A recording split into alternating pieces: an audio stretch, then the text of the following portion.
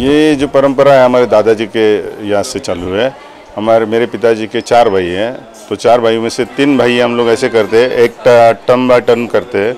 मतलब एक साल मेरे यहाँ पे, एक साल मेरे दूसरे चाचा के इधर। तो तीन साल पे, हर साल में हम लोग तीन साल में मैं हमेशा महापूजा का, सत्यनारायण महापूजा का आयोजन करता हूँ। और इसी बहाने हम लोग सब फैमिली एक साथ में रहते हैं। दो साल के बाद, दो 2020 और 2021 2020 में तो हमारे चाचा भी गुजर गए और 2021 में मेरी चाची गुजर गई। फिर भी, ज- 2020 में ही चाची गुजर गई। लेकिन जो वो माहौल था, वो तो कोविड का माहौल था। वो कोविड के माहौल में सब मतलब गणपति की जो परंपरा चालू थी, सब जगह पे खंडित हो चुकी थी, दो साल।